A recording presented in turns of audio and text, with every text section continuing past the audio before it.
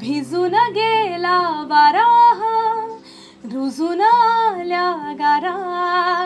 बेभान झाली हवा. पिऊन पाऊस ओला हो ये ना जरा तू ये ना जरा. चाहूल हलके देना जरा. ये ना जरा तू ये ना जरा. साहुल हलके देना सावन की रुत आई रे सजनिया सावन की रुत आई रे सजनिया प्रेम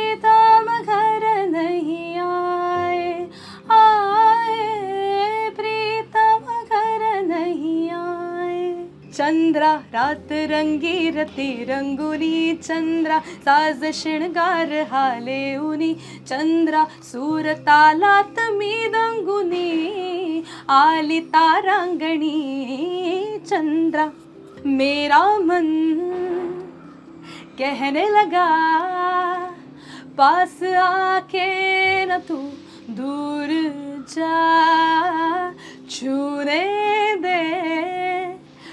दे तेरे जरा सपनों में अपनी बसा। मेरा मन। नमस्कार मी अर्चना निपाणकर. लोकमत सखीच्या या स्पेशल सेगमेंटमध्ये तुमचं खूप खूप स्वागत. सगळ्यात पहिल्यांदी हॅपी वर्ल्ड म्युझिक डे तुम्हाला म्युझिक डेच्या खूप खूप शुभेच्छा.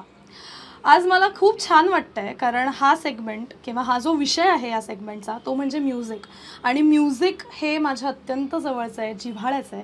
त्यामुळे म्युझिक विषयी मी तासन तास बोलू शकते. त्यामुळे तुमच्याशी आज मला इकडे गप्पा मारायला खूप खूप छान मज्जा येणार आहे. कारण माझ्या आयुष्यातली अशी काही स्पेशल गाणी आहेत त्याच्यामागे काही खूप छान छान गोड गोड किंवा काही फनी अशा मेमरीज आहेत ज्या मला तुमच्याबरोबर शेअर करायला खूप आवडतील.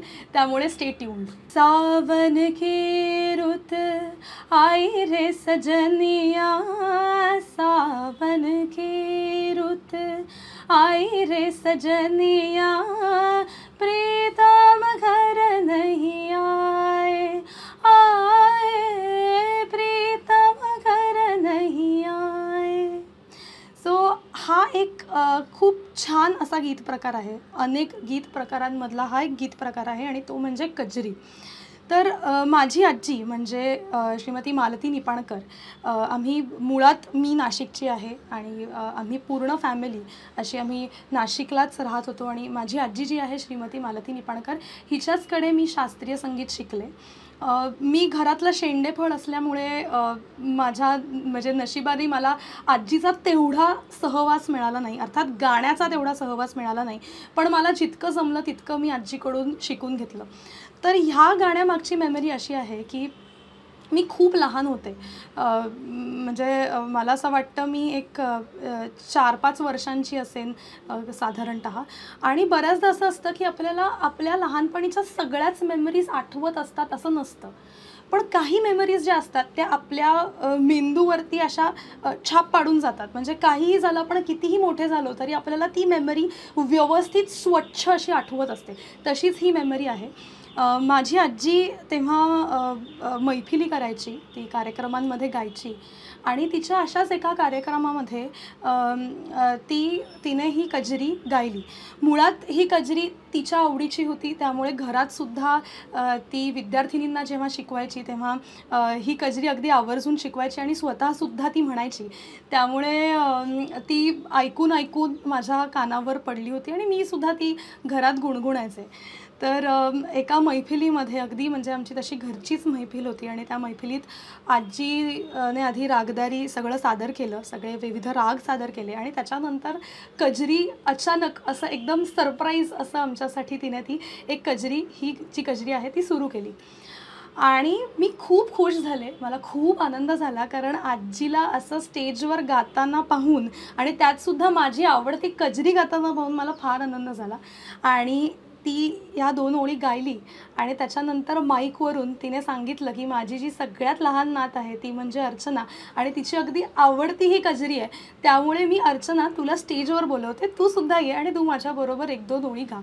आणि मला खूप टेन्शन आलं की तरीसुद्धा आपण असं असतं की आपण जेव्हा लहान असतो तेव्हा आपल्याला फार या इतर फॅक्टर्सचा एवढा परिणाम होत नाही. मला थोडंसं टेन्शन आलं.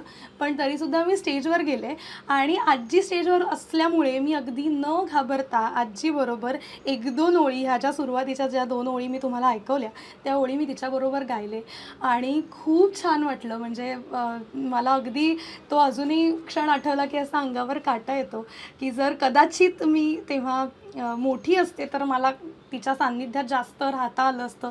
तेव्हा मला ती कजा कदाचित गाण्याची समज असते आणि मला तिच्याकडनं भरपूर घेता आलं असतं. पण तरीसुद्धा हा एक खूप छान असा अविस्मरणीय क्षण जो माझ्या आजीचा ह्या गाण्याच्या मागची जी मी तुम्हाला सांगितलं तशी ही खूप सुंदर सुखद अशी आठवण आहे. दुसरा माझा असा प्रश्न आहे की फर्स्ट टाइम तू स्टेजवर जाऊन ते अख्खं गाणं गायली होतीस किंवा त्याबद्दलची काही मेमरी आहे का? येस माझी एक अशी मेमरी आहे खूप सुंदर गाणं आहे. परत एक वेगळा गीत प्रकार आहे जो मला आजीने शिकवला. कारण आजी अ, जसं मी तुम्हाला सांगितलं शास्त्रीय संगीत मी आजीकडे शिकायचे तर मी रागदारीसुद्धा शिकायचे.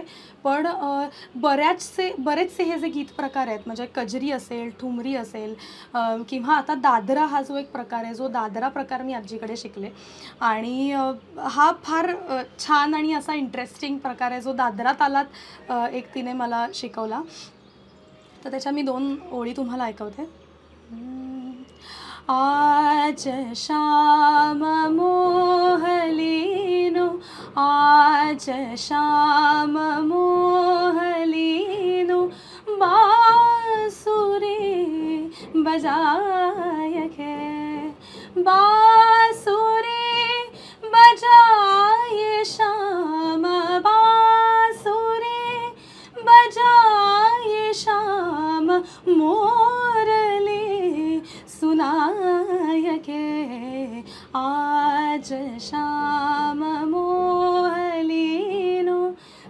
जसं मी तुम्हाला म्हटलं संगीत हा जवळचा विषय आणि कृष्ण हा जवळचा विषय. त्यामुळे कधीही आजी जेव्हा दादरा गायची तेव्हा मला फार छान वाटायचं. त्यामुळे मी एकदा आजीला सांगितलं की तू मला हे शिकवशील का? तर आजी म्हटली मी तुला नक्कीच सगळं शिकवेन पण त्याच्या आधी तुला योग्य तसा रियाज करावा लागेल? म्हणून मग ते गाणं शिकता यावं. म्हणून मी ह्या रागाचा किंवा ती जसं सांगेल तशा पद्धतीचा मी रियाज करत गेले आणि मग मी शिकले आणि मग नक्कीच ती वेळ आली जेव्हा आजीने मला हा दादरा शिकवला आणि अर्थात ती फारच उत्तम गायची पण तिच्याकडून मला जेवढं मिळालं तेवढं मी हे सादर केलं आणि अशी सगळी आठवण आहे या गाण्याच्या मागची. बरं तू आजीबद्दल इतकं सांगतेस तर आजीसाठी एखादं गाणं जर डेडिकेट करायचं झालं तर ते कोणतं असेल? ब- ओके. सो आजीसाठी जर मला गाणं डेडिकेट करायचं असेल तर तिचंच आवडतं एक भजन आहे तर ते मला तुम्हाला ऐकवायला आवडेल. निषेधिनी देवा अभंग रंगावा. निषेधिनी देवा रंगावा भंगलेला माझा डाव सावरावा निषेधिनी देवा अभंग रंगावा डाव मोडताना मृत्यू जिंकताना डाव मोडताना मृत्यू जिंकताना पुनर्जन्म देवा गाण्यासाठी द्यावा. पुनर्जन्म देवा गाण्यासाठी द्यावा. निशिदिनी देवा अभंग रंगावा.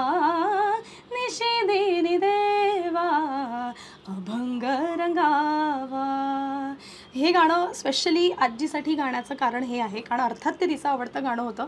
आणि हे जे शेवटचं कडवं मी तुमच्या या गाण्यातलं हे शेवटचं कडवं आहे. आणि जे मी तुमच्यासमोर आत्ता सादर केलं ते म्हणजे डावं मोडताना मृत्यू जिंकताना पुनर्जन्म देवा गाण्यासाठी द्यावा.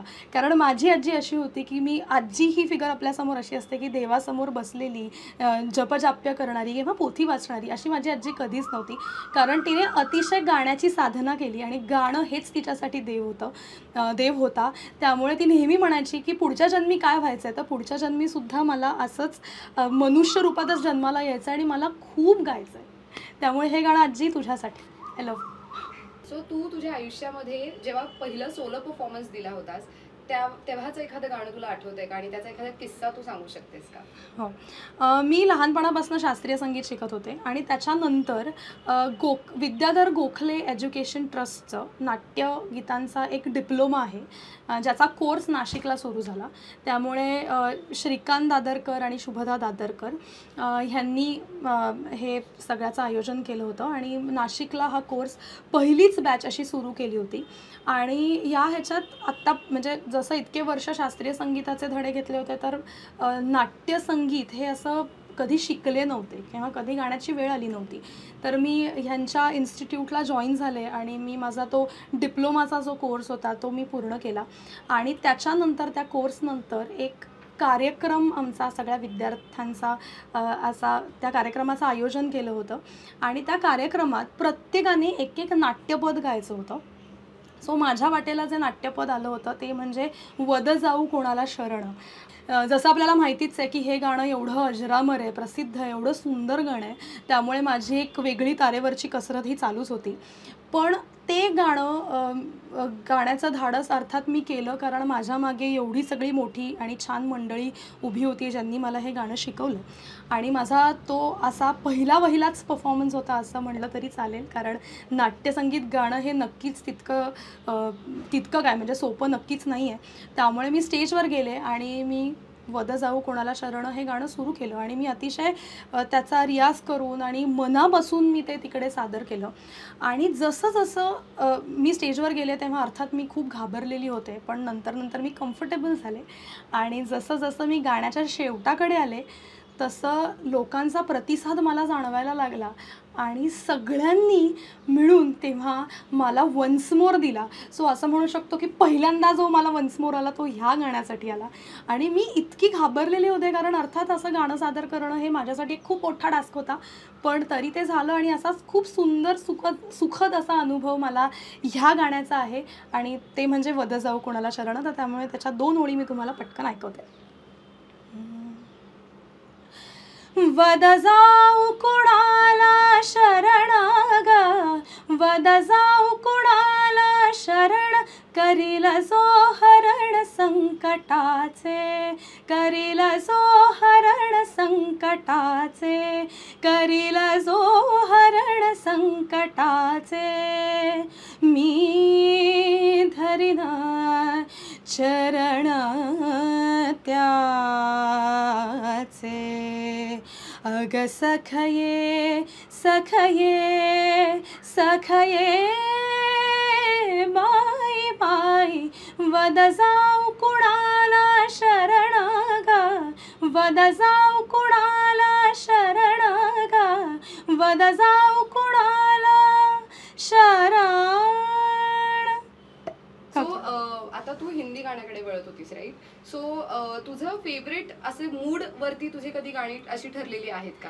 हो माझी अशी खूप गाणी ठरलेली आहे कारण मी चोवीस तास फक्त आणि फक्त गाणंच ऐकत असते. म्हणजे अर्थात कामाव्यतिरिक्त जेव्हा मी काम करत असते तेव्हा नाही पण कधीही मी सेटवर जाते किंवा मेकअप करत असते कॉस्ट्यूम बदलत असते तर स्क्रिप्ट वगैरे वाचून झाली की मी गाणं ऐकते. आणि मुळात कुठलंही गाणं म्हणजे सगळ्या प्रकारची गाणी मी ऐकत असते. मग क्लासिकल असेल गझल्स असतील जुनी गाणी नवीन गाणी नाईन्टीजमधली गाणी एटीजमधली गाणी अशा सगळ्या प्रकारची वेगवेगळी गाणी ही मी ऐकत असते. कारण प्रत्येक गाण्यातनं काही ना काहीतरी घेण्यासारखं असतं अर्थातच. पण आत्ता मला सांगायला आवडेल की आपले वेगवेगळे मूड्स असतात. कधी आपण खूप हॅपी असतो मग आपण हॅपी सॉंग्स ऐकतो. कधीतरी आपण खूप लो असतो. तर जेव्हा मी लो असते तेव्हा मी हे गाणं ऐकते. अ, म, ते म्हणजे जाए जो मंजिले एक पल को तू नज़र झुका. झुक जाए सर जहाँ वही मिलता है रब का रास्ता. तेरी किस्मत तू बदल दे रख हिम्मत बस चल दे. तेरे साथ ही मेरे कदमों के हैं निशान. तू न जाने आस पास है खुदा। तू न जाने आस पास है खुदा। तू न जाने आस पास है खुदा। तू न जाने आस पास है खुदा। सो हे गाणं आहे की मी कधीही माझ्या लोजमध्ये असते माझा मूड नसेल किंवा मला थोडंसं डाऊन वाटत असेल तर मी हे गाणं ऐकते. आणि मला या गाण्याने खूप छान वाटतं एकदम चार्जडअप वाटतं पॉझिटिव्ह वाटतं. सो एखादं जर तुला टिप द्यायची असेल for all the singers upcoming singers म्हणून एक टिप द्यायची असेल any any of the tip so ती काय असेल? मी टिप देण्याइतकी खरंच मोठी नाही आहे पण आजपर्यंत मी जे शिकले माझ्या आजीकडे असेल किंवा राहुल सक्सेना हा माझ्या एका मी एक रियालिटी शो करत होते आणि त्याच्यात तो माझा मेंटॉर होता. त्यामुळे त्याच्याबरोबर मी साडेतीन महिन्यात खूप काही शिकले. खरं तर म्हटलं तर तो खूप शॉर्ट पिरियड आहे आणि म्हटलं तर खूप मोठा पिरियड आहे. पण ह्या साडेतीन महिन्यात मला त्याच्याकडून खूप शिकायला मिळालं. त्यामुळे अर्थात तो माझा गुरु आहे. मी जिथे नाट्यसंगीत शिकले ते माझे सगळे गुरु. तर ह्या सगळ्यांकडनं मी जे शिकले ते असं आहे की कुठल्या पण गोष्टीचा पाया किंवा बेस जो असतो तो खूप इम्पॉर्टंट असतो. मग ती कुठलीही कला असेल किंवा कुठलीही गोष्ट असेल तर त्याच्यात जर आता अभिनय असेल संगीत असेल डान्स असेल तर ह्याचा पाया भक्कम असणं हे फार गरजेचं असतं. त्यामुळे गाणं शिकताना किंवा गाणं शिकायच्या आधी जो त्याचा बेस आहे जे बेसिक्स आहेत ते आपण अगदी पक्के करायला पाहिजे असं मला वाटतं.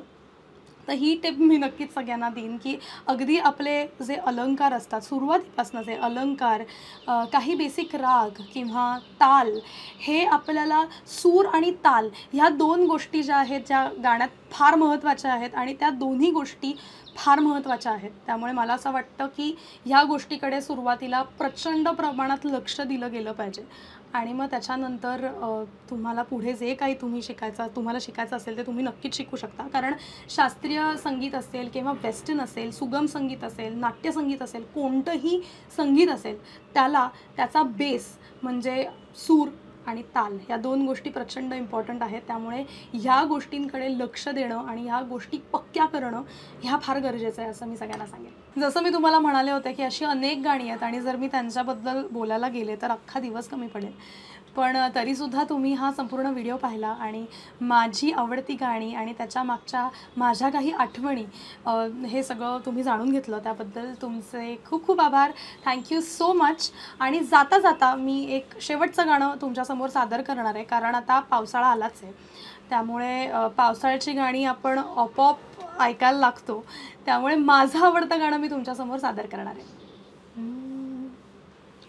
भिजून गेला वारा रुजून आल्या गारा. बेभान झाली हवा पिऊन पाऊस ओला हो ये ना जरा तू ये ना जरा. चाहूल हलके दे ना जरा ये ना जरा तू ये ना जरा. चाहूल हलके देना भिजून गेला वारा रुजून आल्या गारा. बेभान झाली हवा पिऊन पाऊस ओला. सो आता मला लोकमत सखीच्या टीमने इथे एक चॅलेंज दिलं आहे सो या चिठ्ठ्या दिल्यात आणि या चिठ्ठ्यांवरती एक एक शब्द लिहिला आहे आणि त्या शब्दांवरून मला गाणं गायचं आहे म्हणजे जे पटकन माझ्या डोक्यात येईल ते मला गायचं आहे त्यामुळे इट कुड बी एनिथिंग की हिंदी मराठी इंग्लिश जे कुठलं सुचेल ते मला गायचं आहे आणि याला टाईम लिमिट आहे साठ सेकंद म्हणजेच एक मिनटं. सो एक मिनटाच्या आत मला गायचं आहे सो आता थोडंसं जड पण आलं आहे तर उघडू? Yes yes go for it okay so पहिली चिठ्ठी मी आता ओपन करते आहे आणि पहिला शब्द आहे बारिश. ये मौसम की बारिश ये बारिश का पानी ये पानी की बूंदे तुझे ही तो ढूंढे. सो मी एवढंच म्हणणार आहे कारण मला वेळ आहे टाईम लिमिट आहे सो मी नाही गाऊ शकत जास्त.